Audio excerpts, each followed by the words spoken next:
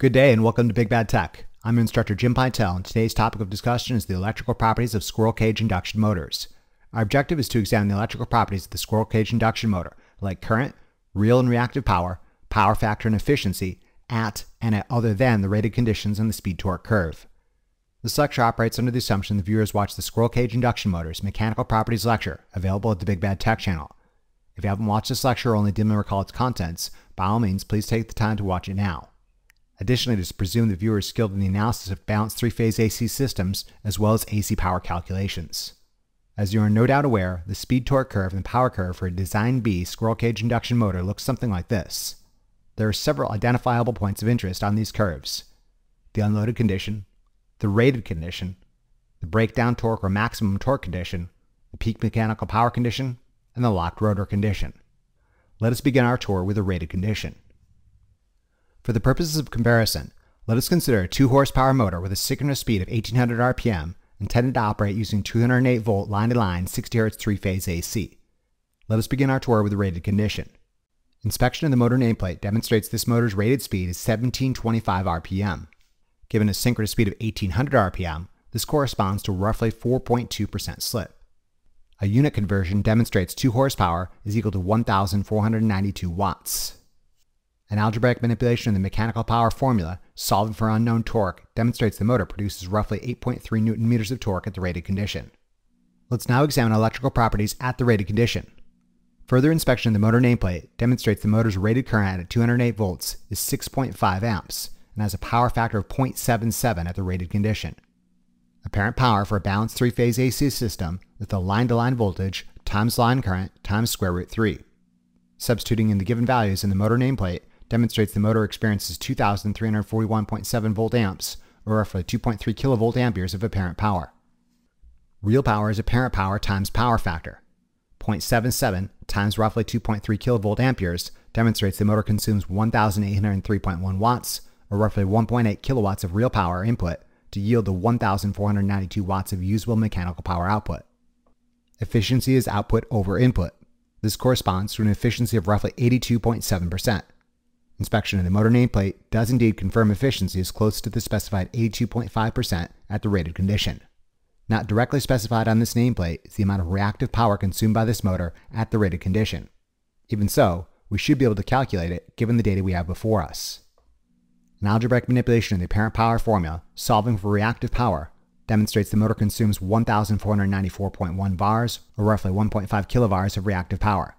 This amount of reactive power is cyclically exchanged between the supply and the motor and goes towards the establishment of the rotating magnetic field central to the operation of induction motors.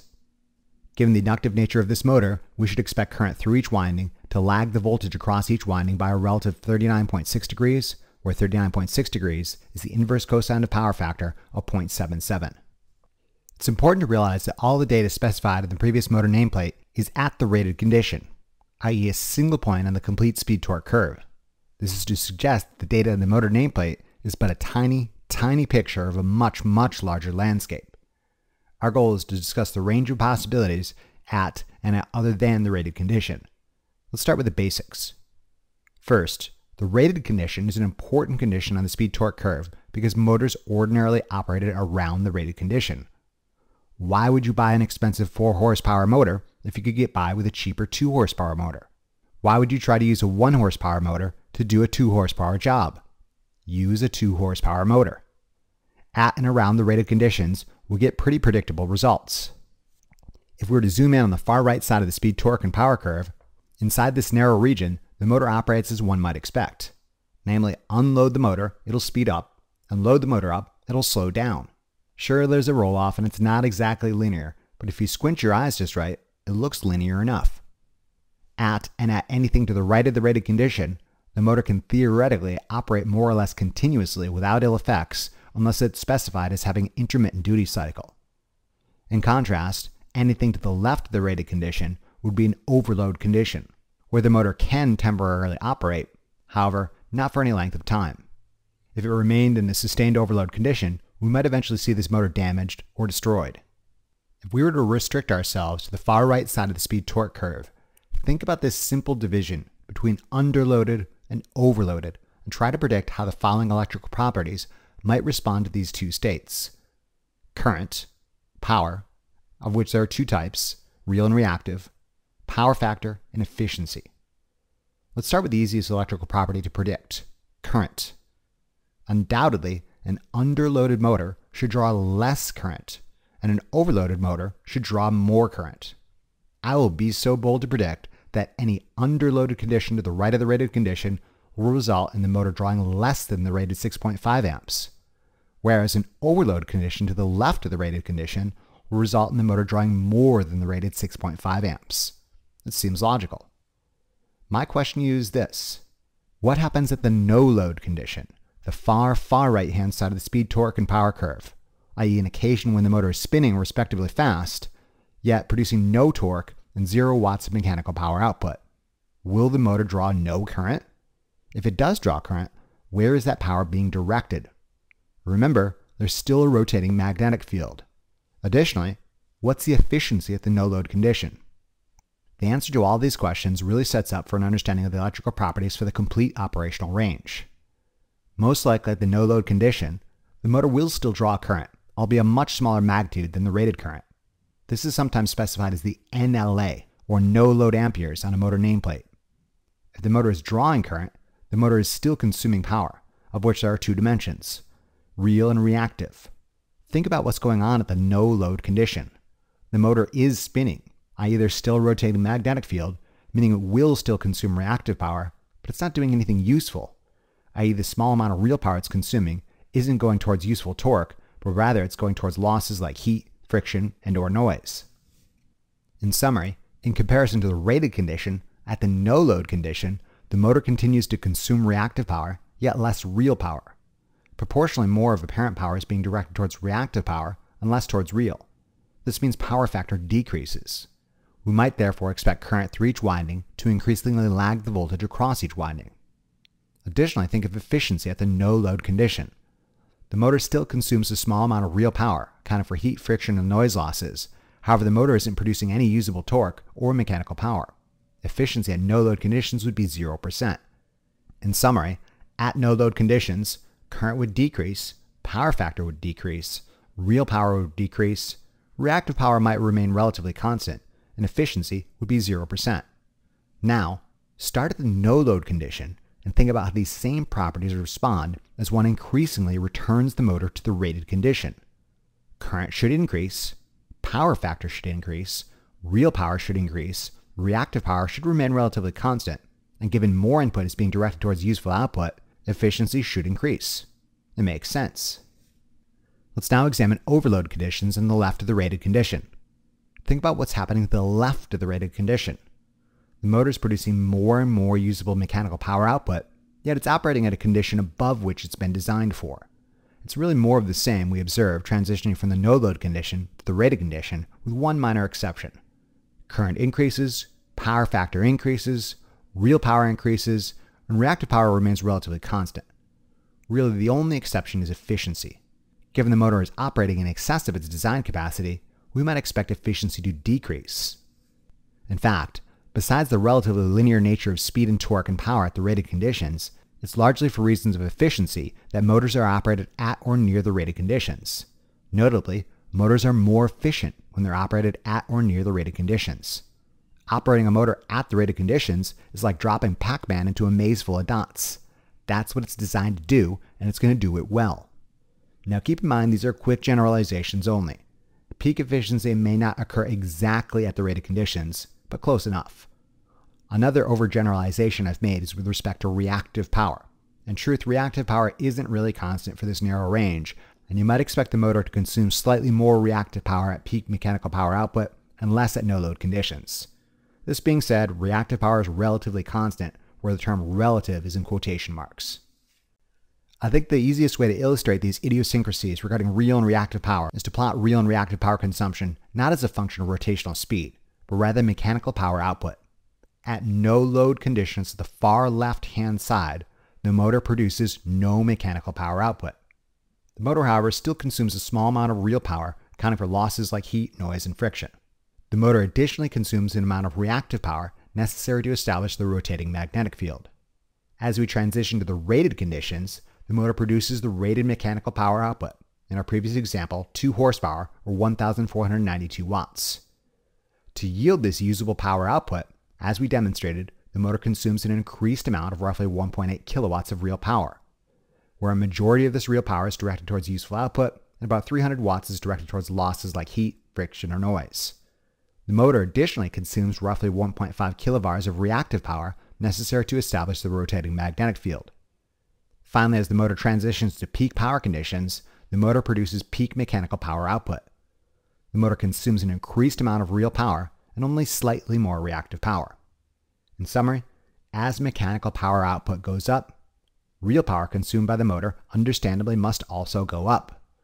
Reactive power does go up, especially at the end. However, for the most part, it's relatively constant. Let's now examine efficiency. If we plotted efficiency on the same type of graph, we might expect 0% at the no load condition and peak efficiency at the rated conditions. Efficiency most likely decreases near peak power conditions since the motor is operating above its design capacity. As long as we're drawing a bunch of graphs, what about power factor? Power factor is the portion of apparent power being directed towards real power. At the no load condition, a majority of apparent power is being directed towards reactive power, and only a small amount is directed towards real power. This corresponds to a low power factor figure. At the rated condition, more of apparent power is being directed towards real power, and reactive power remains relatively constant. This corresponds to an increased power factor figure. Finally, at peak power conditions, a vast majority of apparent power is being directed towards real power, and reactive power only slightly increases. This again corresponds to an increased power factor figure. Keep in mind, we're making serious generalizations for the far right hand side of the speed torque curve only at this point. We'll examine complete range in a moment. What's nice about these generalizations is that they're generally true for most squirrel cage induction motors. If you're looking for specific data about a specific motor, remember to always consult the manufacturer's datasheet for that specific motor of interest. Now that we've got a general idea of what to expect, let's discuss the electrical theory behind these generalizations and discuss the behavior of electrical properties like current, power, power factor, and efficiency over the larger range of the speed torque and power curves. I really struggled with how to model squirrel cage induction motor windings for the purposes of this lecture series. The way I saw it, I had three options easy, not so easy, and super hard. The easy method simply visualizes each winding as a variable impedance. This method kind of works, but it ignores some interesting and important electrical phenomenon. Any understanding using this model would be superficial at best. The more complicated, not so easy method visualizes each winding as a different impedance components in series with a variable voltage source in opposition to applied voltage. This method takes a little bit more effort, however it yields more usable results. The superhard method uses the Steinmetz or T-equivalent circuit, consisting of a series parallel combination of stator resistance, leakage reactance, reflected rotor resistance and rotor leakage reactance, slip, and magnetizing reactance using super confusing calculus that incorporates functions of flux density, torque, and other things that are best ignored. Ain't nobody got time for that. In the interest of balancing completeness with timeliness, we're opting for the not so easy method, where each winding is visualized as different impedance components in series with a variable voltage source in opposition to applied voltage. This does require a little bit more involved circuit analysis than the easy method, but it yields a reasonably complete picture in a reasonable amount of time. Do not for a moment think this is an officially sanctioned model accurate in every respect, nor does it represent reality in every detail in every sense. Windings are not composed of variable resistors, variable inductors, and variable voltage sources. They're just windings. These are just imagined elements accounting for various effects. The elements inside the model of choice include a small variable resistance, which is meant to represent the losses inherent in the motor's operation. This could be resistance losses, core losses, sound losses, windage losses, bearing losses, or anything else that doesn't go towards real usable actual output. Any power consumed by this component would be considered a loss. I'd like to say this component is small enough that you could ignore it, but it isn't and you can't. The second component is a variable resistor, which is meant to represent the real power consumed by the winding that goes towards useful mechanical power output. For the purposes of this lecture, we're going to kind of lump together the losses and output components into a single variable resistive component. The third component is a variable inductor, which represents the reactive power consumed by the winding during operation. This is that portion of apparent power that goes towards establishing the rotating magnetic field in the stator. Although this power doesn't go towards useful output, but is rather cyclically exchanged with the supply, it's an absolutely necessary component of motor operation. Without it, the motor would just sit there and do nothing, kind of like your lab partner. All these components are representative of the motor's operational state on the speed torque curve. At certain points, the reactive power can be greater than the real portion, and at other points, vice versa. You'd think there'd be a simple formula to account for the magnitude of each component depending upon the motor's operational state, but there isn't. The real component slopes gently downwards as a function of rotational speed, slopes rapidly upwards as the motor approaches peak power, then nosedives as it approaches the no load speed. The reactive component does something totally different. The reactive component starts sloping downwards as a function of rotational speed, then rapidly skyrockets as it approaches the no load speed. In the interest of time, for the purpose of this and remaining related lectures, I'm just going to give you the component values and let you figure out the consequences by yourself using Ohm's law. You do know Ohm's law, don't you? The last property illustrated using the not so easy method is the variable voltage source in opposition to applied voltage. This is meant to account for counter electromotive force, or CEMF, a self generated oppositional voltage the motor windings experience while in operation. You'll recall in the Squirrel Cage Induction Motors Mechanical Properties lecture, available at the Big Bad Tech channel, I explained the operational principle of squirrel cage induction motors using primitive graphics that I thankfully will not repeat here. As a summary of the process, you recall current flowing in the stator windings creates a rotating magnetic field which induces current on the rotor. Consequently, the induced current flowing the rotor creates its own magnetic field on the rotor, which then interacts with the stator rotating magnetic field such that the rotor is twisted or dragged along with it an additional interaction occurs that I only briefly alluded to in the aforementioned lectures. As does the stator's magnetic field interact with the rotor, the rotor's magnetic field similarly interacts with the stator, kind of like the force you'd feel against your foot if you kicked a soccer ball. The ball feels the force of your foot, but your foot consequently feels the force of the ball. Once the rotor starts turning, if you want to think of it this way, the stationary windings on the stator will experience relative movement of a magnetic field, as would a generator. As a result, an oppositional or counter voltage would be generated with the opposite polarity of that that initiated the action. The magnitude of counter electromotive force is proportional to speed. The faster the motor spins, the more counter electromotive force is produced. At rest, counter electromotive force would be 0 volts. As the rotational speed increases, counter electromotive force increases. For our purposes, we're going to consider this a linear phenomenon.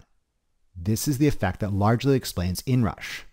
More appropriately, it's the lack of this effect that explains inrush. A motor at rest is not producing counter-electromotive force, and upon closure of a full voltage starter, the winding would experience all voltage. We'll examine inrush calculations and inrush theory in greater detail in later lectures. An extremely effective way of explaining counter-electromotive force is using these two simple examples. Consider a 20 ohm resistive component in series with a 20 ohm reactive component in series with a variable voltage source meant to simulate counter electromotive force that happens to have a value of 0 volts supplied by a fixed 120 volt source. The total impedance seen by the source is roughly 28.3 ohms at an angle of 45 degrees, which experiences the complete 120 volt differential. An application of Ohm's law demonstrates that the source supplies roughly 4.3 amps at an angle of negative 45 degrees. You'll note with 0 volts of counter-electromotive force, the winding experiences the full 120 volt differential and as a result draws a substantial amount of current. Now consider the same 20 ohm resistive component in series with the same 20 ohm reactive component in series with a variable voltage source that now happens to have a value of 70 volts supplied by a fixed 120 volt source. You will note the polarity markers on the fixed source and the variable counter-electromotive force component specify that this is a series oppositional relationship. Both the source and counter-electromotive force simultaneously peak. However, given their polarity markers are in opposition to one another, an application of Kirchhoff's voltage law demonstrates the series impedances experience a differential of 120 minus 70, or only 50 volts. An application of Ohm's law demonstrates the source supplies roughly 1.8 amps at an angle of negative 45 degrees. You'll note with increased counter-electromotive force, the same impedance experiences less of a differential and as a result draws less current. This again explains the vast disparity of current drawn at inrush versus at the rated and no load conditions, i.e., opposite ends of the speed torque curve. Even if the resistive and reactive components stay the same at these two extremes, which they don't, a motor at locked rotor conditions, i.e., 0 RPMs, will experience more current because there is less counter electromotive force. Whereas a motor at no load conditions, i.e. extremely high RPMs, will experience less current because there is more counter motive force. Like I said, we'll examine inrush in greater details in later lectures. More to the point of this lecture is that every component inside this model changes at different points of the speed torque curve. Given specified supply voltage magnitude, counter motive force magnitude, and impedance values, it should be well within your capacity to calculate current and power. Allow me to demonstrate. For this series of examples, let's go ahead and use a half horsepower motor with a synchronous speed of 1800 RPM intended to operate using 120 volt line to neutral, 208 volt line to line, 60 Hz three phase AC, and a Y configuration. In no load condition, let's say the motor rotates at 1780 RPM, and each winding can be modeled as a resistive component of 15 ohms in series the reactive component of 50 ohms at the no load speed of 1780 RPM. Let's say the motor experiences 70 volts of counter electromotive force in opposition to applied voltage. The total impedance presented by each winding is a series combination of the real and reactive components with a value of roughly 52.2 ohms at an angle of 73.3 degrees. Each winding would experience a 120 volt differential in one direction and 70 volts in another, for a total differential of 50 volts. An application of Ohm's law demonstrates each winding draws roughly 957.8 milliamperes, lagging each phase by a relative 73.3 degrees. This is the current the motor would draw in the no load condition, a point at the speed torque curve where speed is high, but torque is zero, an occasion of 0 watts of mechanical power output. Given the large degree of phase shift between voltage and current, it's obvious a majority of apparent power is being directed towards reactive power and only a small portion towards real power. In the no load condition, any real power consumed by the motor would be considered a loss. Speaking of power, let's talk about power and the drawbacks of the model we're employing. As you are no doubt aware, AC power is the product of voltage times current complex conjugate where only the relative phase shift between voltage and current is to be considered. Once a user has calculated apparent power, it can then be resolved into its real and reactive components, as previously. This method works all the time, even with this model. In ordinary circumstances, there exist two other methods used to calculate AC power, namely current squared times impedance and voltage squared divided by impedance. However, employing this model does not allow the use of these techniques. I say again, you cannot use current squared times impedance or voltage squared divided by impedance to solve for power with this model because these impedance components don't exist. They're just a way of modeling the winding's behavior at different points on the speed torque curve. To properly calculate power for each winding modeled in this fashion, one must use voltage times current complex conjugate where only the relative phase shift between voltage and current is to be considered. An application of the AC power formula demonstrates each winding experiences 114.9 volt amperes of apparent power, of which 33 watts is directed towards real power and 110.1 vars is directed towards a reactive interchange. Total real power is a summation of individual real powers, which yields 99.1 watts. Given the no load condition is an occasion of zero torque and zero watts of mechanical power output, this means 99.1 watts is directed towards losses, like heat, friction, and or noise. This amounts to an efficiency of 0%. Total reactive power is the summation of individual reactive powers, which yields 330.3 VARs. This is the amount of reactive power cyclically exchanged between the motor and the source to establish the rotating magnetic field necessary for the motor's operation. Finally, let's examine power factor at the no load condition. As we have observed, there's a substantial phase shift between voltage and current at no load conditions, and a majority of apparent power is being directed towards a reactive interchange. As such, we should expect a low power factor. Power factor is several things, principally the cosine of the phase shift between voltage and current, and the ratio of real over apparent power. Either calculation results in a power factor of roughly 0.29. Go ahead and copy these results at the no load condition in your notebook for purposes of later comparison. Let's perform the same analysis at the rated condition. At the rated condition, when the motor produces the rated mechanical power output of half a horsepower, let's say it rotates at 1730 RPM. A unit conversion demonstrates a half horsepower is 373 watts. An algebraic manipulation of the mechanical power formula, solving for torque, demonstrates the motor produces roughly 2.1 newton meters of torque. At the rated condition, let's say each winding can be modeled as a resistive component of 27 ohms in series with a reactive component of 20 ohms. At the reduced rated speed of 1730 RPM, the motor experiences a reduced amount of 67 volts of counter-electromotive force in opposition to applied voltage. The total impedance presented by each winding is a series combination of the real and reactive components for a value of roughly 33.6 ohms at an angle of 36.5 degrees. Each winding experiences a 120 volt differential in one direction and 67 volts in another for a total differential of 53 volts. Not only has each winding impedance magnitude and angle changed, at the reduced rated speed, each winding experiences less counter-electromotive force. All of these changes should result in more current and more apparent power being directed towards real power. Let's see if this is the case. An application of Ohm's law demonstrates each winding draws roughly 1.6 amps, lagging each phase by a relative 36.5 degrees. As we expected, current magnitude increased and phase shift decreased in comparison to the no-load condition. Apparent power is equal to voltage times current complex conjugate. An application of the AC power formula demonstrates each winding experiences 189.3 volt amperes of apparent power, of which roughly 152.1 watts is directed towards real power and 112.7 VARs is directed towards the reactive interchange.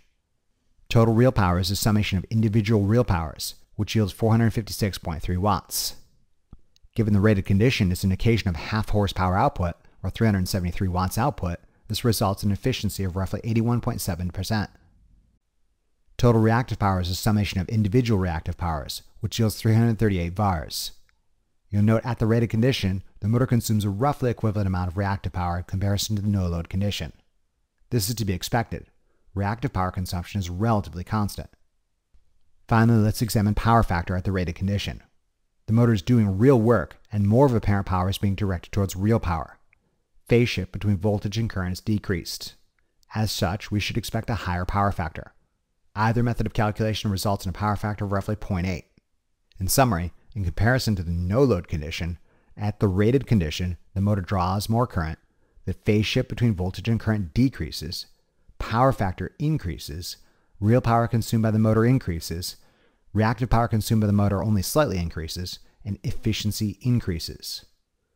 Go ahead and copy these results at the rated condition in your notebook for purposes of later comparison. All right, one more illustrated example, a brief summary, and then we'll call it a day. Let's perform the same calculations at peak mechanical power output. We should expect more of the same with a couple minor variations. Namely, we should expect this motor to draw more current, the phase shift between voltage and current should decrease, power factor should increase, and real power consumed by the motor should increase. The two exceptions we might see is the motor to be less efficient at peak power conditions, and it will most likely draw slightly more reactive power. At the peak mechanical power output condition, let's say this motor can produce 3 quarter horsepower output at 1680 RPM. A unit conversion demonstrates 3 quarter horsepower is 559.5 watts. An algebraic manipulation of the mechanical power formula solved for torque demonstrates the motor produces roughly 3.2 newton meters of torque at the peak mechanical power output condition. At peak conditions, let's say each winding can be modeled as a resistive component of 20 ohms and a reactive component of 9 ohms. At the reduced rated speed of 1680 RPM, the motor experiences a reduced amount of 66 volts of counter-electromotive force in opposition to applied voltage. The total impedance presented by each winding is a series combination of the real and reactive components with a value of roughly 21.9 ohms at an angle of 24.2 degrees. Each winding experiences a 120 volt differential in one direction and 66 volts in another for a total differential of 54 volts. Not only has each winding impedance magnitude and angle changed, at the reduced rotational speed, each winding experiences less counter-electromotive force. All of these changes should result in more current and more apparent power being directed towards real power. Let's see if this is the case. An application of Ohm's law demonstrates each winding draws roughly 2.5 amps, lagging each phase by a relative 24.2 degrees. As we expected, current magnitude increased and phase shift decreased in comparison to the rated condition. An application of the AC power formula demonstrates each winding experiences 295.5 volt amperes of apparent power, of which 269.4 watts is directed towards real power and roughly 121.2 VARs is directed towards the reactive interchange.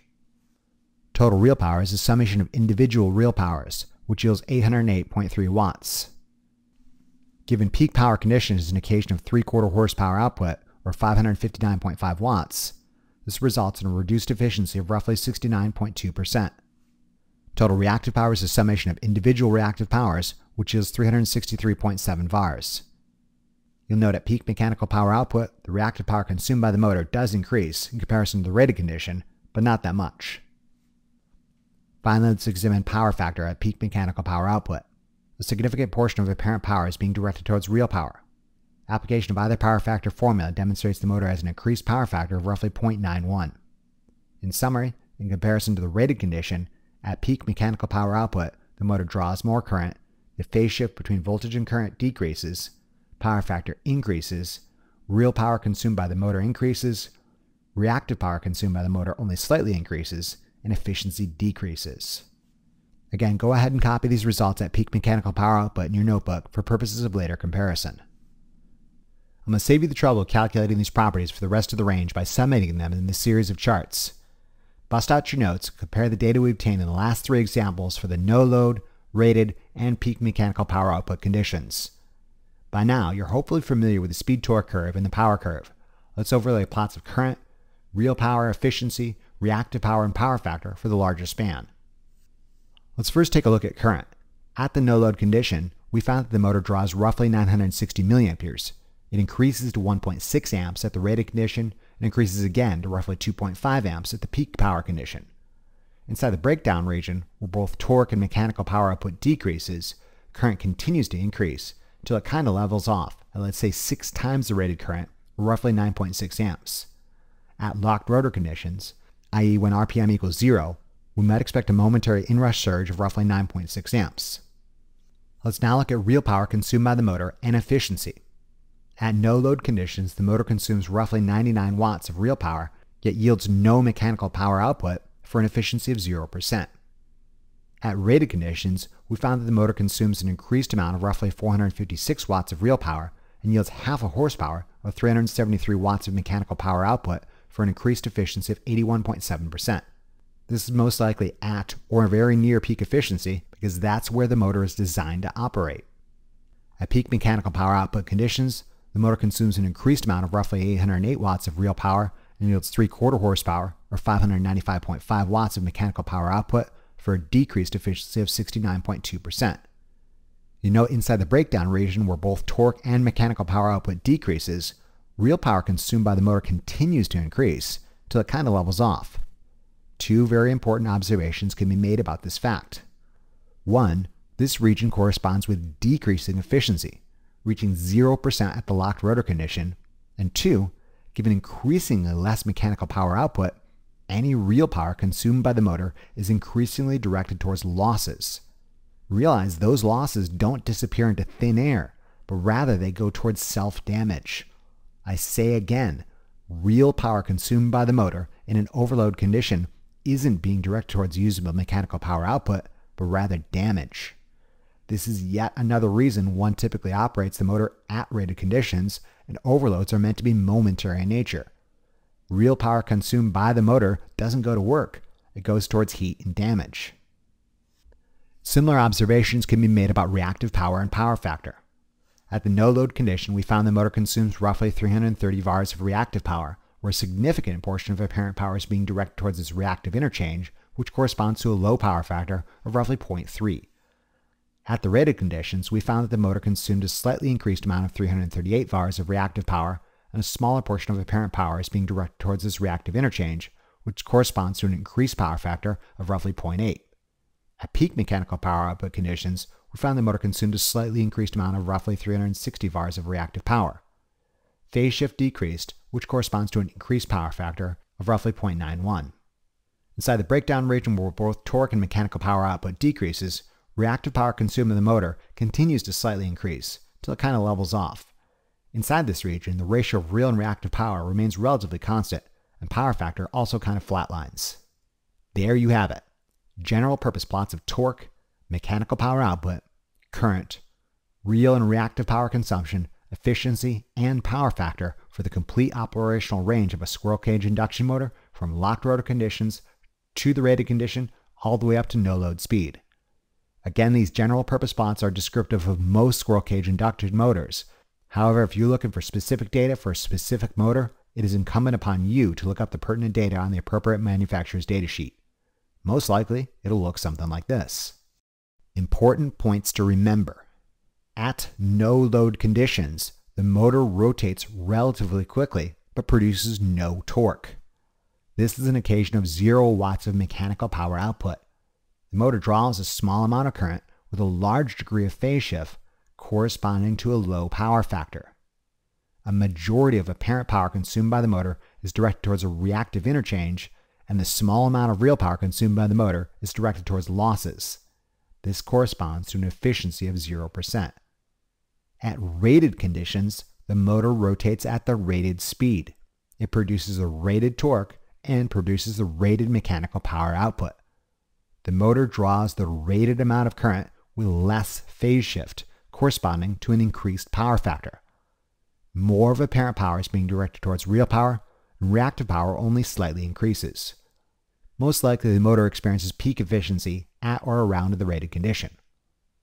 At peak power conditions, it's more of the same with some minor variations. Current increases, power factor increases, real power consumption increases, reactive power slightly increases, only efficiency goes down. Inside the breakdown region, things kind of level out. Only efficiency continues to drop, reaching 0% at locked rotor conditions. In summary, things are as bad as they can get, and they can't get much worse. It's important to realize that this is a region of decreasing mechanical power output, and any real power consumed by the motor is increasingly directed towards losses, and those losses often take the form of increased heat and self damage. The moral of the story is don't operate a motor in an overload condition for very long unless your goal is to destroy it. Keep in mind, a manufacturer datasheet may not specify electrical properties for the entire range of operational speeds, but rather limit data to the narrow region around the rated condition. You recall we examined a motor datasheet in the squirrel cage induction motor's mechanical properties lectures that did exactly that. Your job is to be sufficiently aware of what data is being plotted on what axis and discriminating between the numerous types of dashed lines on the plot. Consider one such example of a 3 horsepower Design D squirrel cage induction motor.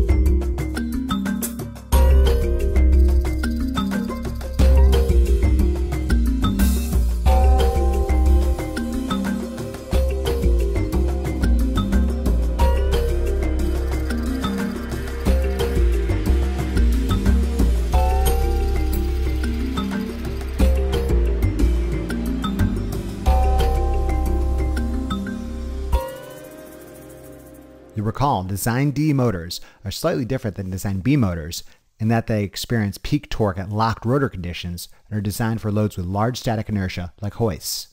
Other than that, we should observe similar properties to the Design B motors we've thus far discussed. This motor is intended to operate using 460 volt three phase AC with a synchronous speed of 1200 RPM. The key data point to remember is that this is a 3 horsepower motor. The horizontal x axis isn't speed, it's percent power output, where 100% of rated power output, or 3 horsepower, is this vertical line right here. Anything to the right of the vertical 3 horsepower line is an overload condition. Anything on the vertical line is the rated condition. Anything to the left of the vertical 3 horsepower line is an underloaded condition. We see this motor can produce 0% up to 150% of 3 horsepower or 4.5 horsepower at peak power conditions. This datasheet plots torque using a dashed line, RPM using another type of dashed line, current also using another type of dashed line, efficiency on a solid line, and power factor using another type of dashed line. The intersection of each dashed line with the vertical 3 horsepower line is most likely what is specified in the motor nameplate. For example, if this dash line means rotational speed, it looks like at 100% of rated power, the rated speed might be around 1120 RPM. A rotational speed of 1120 RPM for a synchronous speed of 1200 RPM represents a slip of roughly 6.7%. You'd expect that for a Design D motor of this size. You'll note the vertical y-axis specifying the rotational speed starts at 1200 RPM and goes only to 1100 RPM. Basically, this chart is only presenting data on the extreme right-hand side of the larger speed torque curve. Why? Because that's where you should operate this motor, i.e. around the rated condition. You'll additionally note that the dashed rotational speed line slopes downward left to right. It makes sense. In the underloaded regions to the left of the rated condition, the motor speeds up. In the overloaded regions to the right of the rated condition, the motor slows down. If this dash line means current, it looks like at 100% of rated power, the motor draws 5.4 amps. You'll note the dashed current line slopes upward left to right. It makes sense. In the underloaded region to the left of the rated condition, the motor draws less current. In the overloaded region to the right of the rated condition, the motor draws more current. If this dashed line means power factor, it looks like at 100% of rated power, the motor has a power factor of roughly 0.64. You will note the dashed power factor line slopes upward left to right. This again makes sense. In the underloaded regions to the left of the rated condition, most of apparent power is directed towards a reactive interchange. Whereas in the overloaded region to the right of the rated condition, some of apparent power is still being directed towards a reactive interchange, however, the motor consumes proportionally more real power. This corresponds to an increased power factor. Finally, if this solid line means efficiency, it looks like at 100% of rated power, the motor is roughly 81.5% efficient. You note this motor doesn't actually experience peak efficiency at the rated condition, but rather a little earlier. But come on, it's close enough. At no load conditions, the motor still experiences 0% in efficiency, and in the overloaded regions to the right of the rated condition, the motor's efficiency decreases in comparison to the rated condition. Long story short, all the information is right there on the datasheet and it behaves like we'd expect. One last series of calculations involving this datasheet before we bring this lecture to a close. On a very basic level, you should understand a motor converts electrical power to mechanical power. Ideally, these figures should meet in the middle somewhere to a reasonable degree of accuracy at any and at all operating conditions. Let's see if this is the case for one such operating condition. Since it's the most important, consider the rated condition. At the rated speed of 1120 RPM, the motor produces the rated mechanical power output of 3 horsepower, where a unit conversion demonstrates 3 horsepower is equal to 2,238 watts. An algebraic manipulation of the mechanical power formula, solving for unknown torque, demonstrates the motor should be producing roughly 19.1 newton meters of torque, or another unit conversion demonstrates 19.1 newton meters is equal to roughly 14.1 foot-pounds of torque. If we follow the intersection of the dash double dash torque curve with the vertical rated condition, we find rated torque to be slightly in excess of 14 foot-pounds, as we'd expect. At the rated condition, the motor is known to have an efficiency of roughly 81.5%. An algebraic manipulation of the efficiency formula, solving for unknown power input, demonstrates the motor must consume at least 2,746 watts of real power to yield the necessary 2,238 watts of output. Let's now examine the electrical properties at the rated condition. Recall the motor draws 5.4 amps at a 0.64 power factor at the rated conditions using 460 volt three phase AC. Given this motor is a balanced load, we can make use of the single watt meter method to determine power, where apparent power is square root 3 times line to line voltage times line current. Substituting our given values yields 4,302.4 volt amperes, or roughly 4.3 kilovolt amperes of apparent power. Real power is apparent power times power factor. Roughly 4.3 kilovolt amperes times 0.64 yields roughly 2,753.5 watts of real power, extremely close to the 2,746 watts we calculated earlier using mechanical power output and efficiency. It all makes sense. One should be able to use this chart or something like it to calculate the same data at other operational points. Importantly, the mechanical and electrical calculations should support each other to a reasonable degree of accuracy. All right, that's about it for today. In conclusion, this lecture examined the electrical properties of squirrel cage induction motors at and at other than the rated conditions. We examined current, real power, efficiency, reactive power, and power factor. Additionally, we introduced a simplified model of a motor winding, including counter-electromotive force, and inspected and learned how to interpret a motor datasheet. Remember to review these concepts as often as you need to really drive it home. Imagine how well lab will go if you know what you're doing. Thank you very much for your attention and interest, and we'll see you again during the next lecture of our series. Remember to tell your Lazy Lab partner about this resource, and be sure to check out the Big Bad Tech channel for additional resources and updates.